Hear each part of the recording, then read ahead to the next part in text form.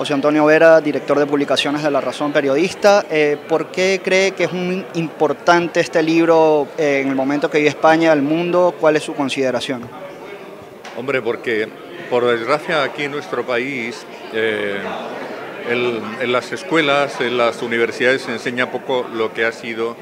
la historia de España en todo su ámbito y en todo su esplendor, por así decirlo, ¿por qué no? Puesto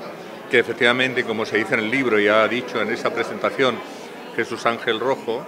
eh, es que España ha sido descubridora de nada menos que tres continentes y hemos, en nuestros eh, hombres han estado de una forma absolutamente, eh, en la mayor parte, en la inmensidad de los casos, pacífica, pues llevando la cultura española, llevando la religión católica y, llegando, y llevando todo lo que son nuestras costumbres a lugares que eran absolutamente insospechados. Por supuesto en América, pero también en Asia y también en Oceanía. Y creo que es bueno que, que, salgan libros como este, hay muy pocos, ciertamente muy pocos,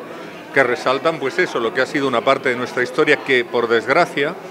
eh, como consecuencia de un tipo de educación que parece que eh, quiere siempre orillar lo que ha sido eh, lo que ha sido esta parte tan relevante de la historia de España, del Imperio español, pues es muy poco conocida por la mayor parte de los españoles, no solamente por las nuevas generaciones, sino incluso por generaciones que ya pues han superado los 30 y 40 años. ¿Qué consideración le merece eh, el esfuerzo recurrente del autor Jesús Ángel Rojo en, insistir en estos temas, en enaltecer eh, a estos héroes, cierta parte olvidados de España y, el papel de España eh, no solo en el propio territorio, sino en el mundo? Bueno, pues porque me parece fundamental. Imagínese usted que nosotros, toda esta historia que tenemos,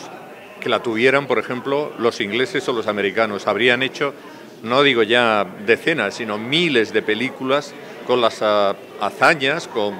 la historia, con aquello que de valor hubo en toda esta parte de la historia de España,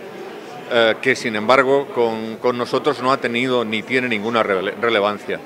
Entonces, eh, bueno, es una pena, no se ha hecho nunca, no se ha hecho en el ámbito,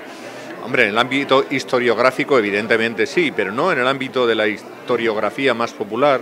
no en el ámbito de la educación, no en las escuelas, no en la universidad y tampoco, y mucho menos, y eso es eh, lo peor, por ejemplo, en el ámbito de los medios de comunicación, porque hay muy pocas eh, películas que resalten pues eh, toda esta parte de la historia de España que está, como se dice con frecuencia y es verdad, muy muy oculta y es bueno,